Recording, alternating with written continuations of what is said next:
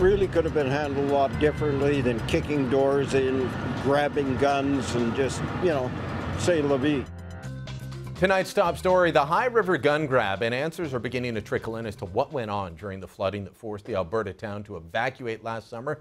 We know the RCMP kicked in doors, they searched homes, they confiscated guns of residents. Well, answers to a formal question by a member of parliament, not quite fulsome. Solomon Friedman joins me now in studio. Solomon, these were order paper questions put by Conservative MP Scott Reid. The RCMP were are required by law to answer.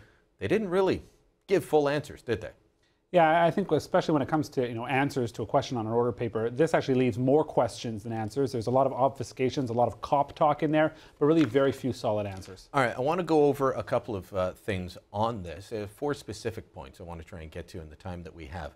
Search teams. Here's a quote from the uh, the RCMP answer, and it was about uh, you know how they left the homes after they searched them. Search teams were directed to secure the residents upon completion of their search. We know that didn't happen. And the other thing that they talked about was minimal damage. So let me bring up the next quote. And they said if forced entry was required, search teams were directed to cause the least amount of damage possible. We know from our, uh, our, our documentary on High River that that didn't happen. Roll tape. $4,300 just for the door. 50 days wait time to get the door after I order it. I have to pay before I order it. I've already put out twelve to thirteen thousand dollars since I've been kicked out of my house. Where am I getting four thousand dollars to put a new door in here? I mean, the way I'm sitting right now, I'm looking at three months before this door is put back in here and locked down properly.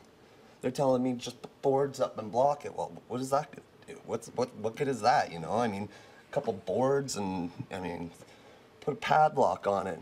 Just fix my door. My garage door was open, unlocked.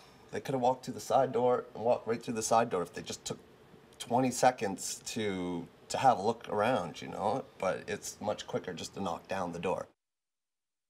Solomon, how can the RCMP get away with claiming they did minimal damage and uh, you know they, they minimal force? You know what really boggles the mind here? As a criminal defense lawyer, I can tell you I've seen countless times where the RCMP, they're conducting some type of investigation. They have the ability to covertly enter, enter and to basically defeat any locking mechanism in Canada. In fact, in this very answer sheet, they said that they engaged the services of local locksmiths. What do you need local locksmiths for if you're kicking down doors? You know, they left untold number of doors. You know, 1,900 doors were breached. And when we say breach, we're not talking about picked, we're talking about being kicked in. So I don't think that claim by the RCMP can really hold water. All right. Uh, several times throughout their answer, they said that uh, as far as the taking of guns, they only took firearms that were in plain sight. And we know from talking to residents that that's not true. They found footprints going all the way through, muddy footprints going all the way through their homes, into bed, bedrooms, into closets. And, and, we were talking about it in, in, uh, in the office, and I said, well, no, it, it, they did only take firearms in plain sight if you use the RCMP logic. So I want to go back to this clip of an RCMP officer explaining how they view plain sight as being in the basement, in the closet, behind some boxes. Roll clip. It could be in, in plain view. It could be under a bed, in a closet, on top of a, uh, a place where somebody uh, could hide. You know, like upon searching uh, for people, uh, if they if they see a firearm that is in a closet, maybe if you stand in the middle of the room, you would say it's not in plain sight. But as, as soon as you open the closet door, it becomes in plain sight.